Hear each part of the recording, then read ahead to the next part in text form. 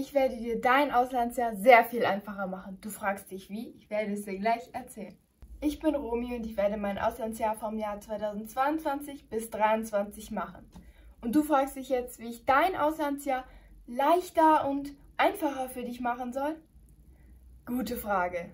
Wie jeder Austauschschüler habe ich sehr viele Informationen eingeholt über die, zum Beispiel die verschiedenen Organisationen. Vorteile, Nachteile, was sie bieten, was sie nicht bieten und später herausgefunden, dass ich gar nicht so viel hätte recherchieren müssen zu manchen Dingen. Und damit dir das eben nicht passiert, mache ich auch schon ein nächstes Video für die Organisationen.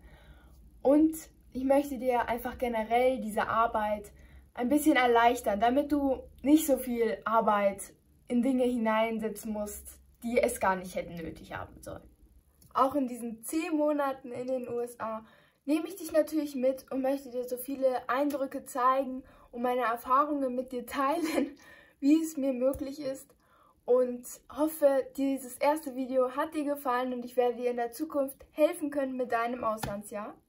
Und das war auch schon mein erstes Video. Ich hoffe, wir sehen uns bald.